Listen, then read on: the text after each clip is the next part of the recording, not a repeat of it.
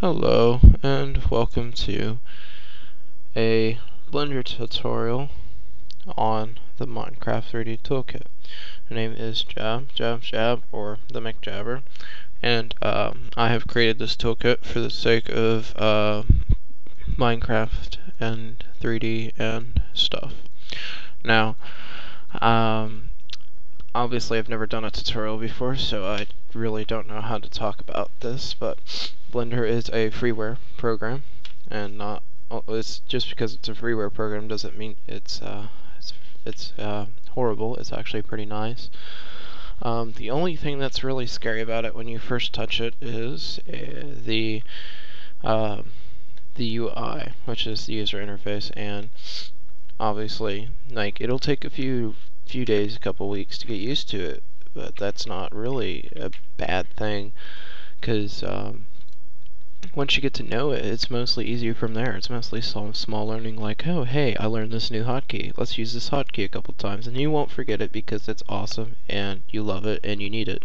So that's basically what Blender does for you.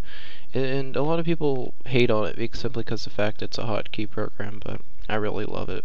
So, anyways, I'm um, just going to go through the basics of the layers real quick. Uh, the first layer is camera, second empty, third is the um, if I can do this real quick, Let's see. Third is empty. Let's just forget about it because it doesn't matter. Fourth is empty. Fifth is empty. Now, see, in this section of layers over here is going to be all for the mobs. So the sixth is going to be the, what's this? The regular human. Second one, excuse me. Seventh layer is going to be the pig. Eight's the sheep. And then Alt 6 is going to be the skeleton, Alt 7 is going to be the creeper, and if I can select it, 8 is going to be the zombie, and 9th is going to be the slime. What's this? He's happy. Now, that was just an action, by the way, that uh, I've created, and if you go into the action editor, and if you select the right object, apparently I'm having issues at the moment with the action editor, which they won't show the uh, the stuff that needs to be shown. I don't know why I'm doing that. Um, let's see if I can try to get this to show real quick. I, mean, usually don't have a problem with this, but lately I have, so.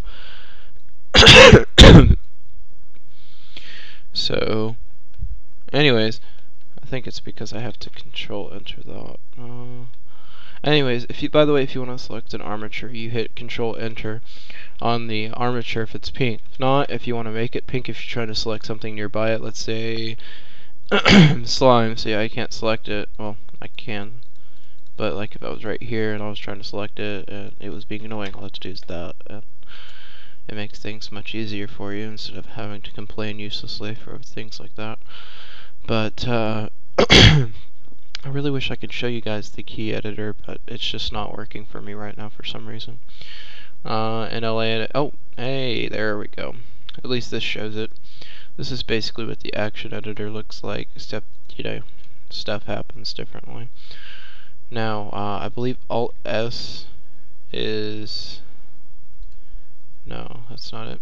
Either way, there's some some command that um, I will probably say in a later tutorial when I get to this part that uh, shows this uh, shows how to make selected blocks and repeating blocks for actions. It's called a dope sheet, by the way. Um, that makes things move and repeated actions, etc., etc., etc. Also, if you want to play a action, you hit Alt A, and it just plays it through on the 3D view. Now, if you want to preview it, you would hit F12 just to see, like, obviously that texture is not don't know what happened there. One second. See why that's doing that. Yeah, I, I don't know why it's doing that. Um, but basically, yeah, basically if you want to uh, preview, let's get to another thing. If you want to be human, you know, being all cool like that, you just hit F12. And if you want to like, see if this one moves any at all. Yeah,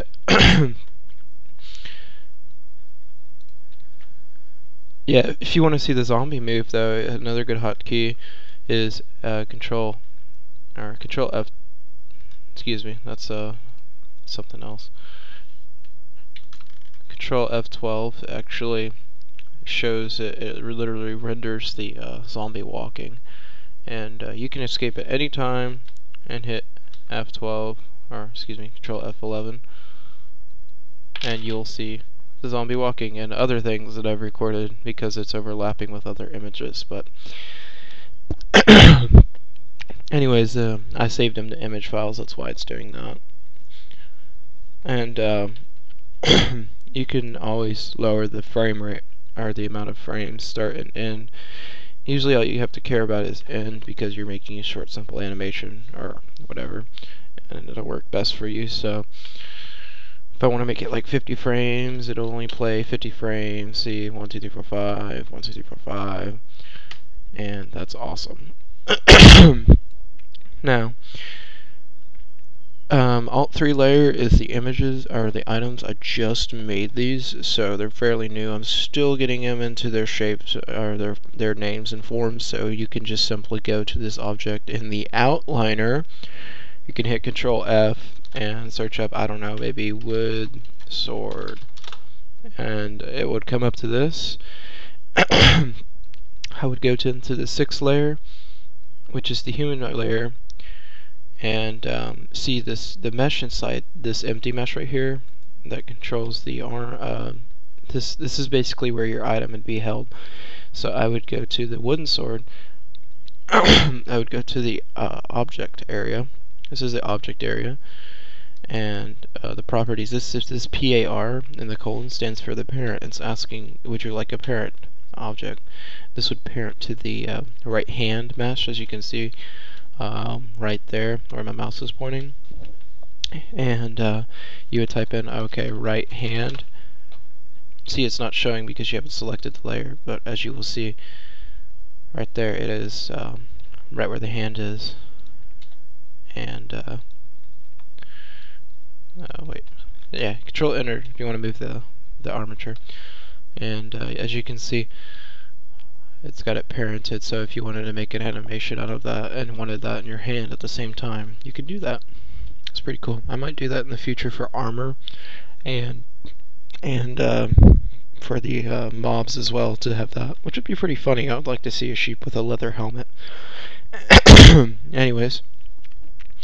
So I guess that would be the it uh, th that would be it for the um, tutorial. Oh and uh, also the uh, one more thing, uh, the alt fourth layer is the sky. It looks pretty beautiful. I, I, love it. It was like the best thing I've ever done for the toolkit because it looks like the old classic, and it's just awesome. And also, I've made it so you would have it roll. You can't really see it, but if I were to go ahead and make this 2000 and skip five, so it skips every five frames and well in the 3D view it doesn't but in, when you render if you go to step and you change it from one to another frame it'll just basically skip frames and render it. As you can see the sky is rolling. It's really beautiful. I love it. And you can select hold it when using a map or something in the uh, in the animation. And it would really roll and it would continually roll forever because I've set it so it can do that and uh, after that, that's basically it for the basics of the tutorial. I'll should be sure to make more of them later so we can all be happy and be able to do this thing. Anyways, thank you for watching, and I'll see you later.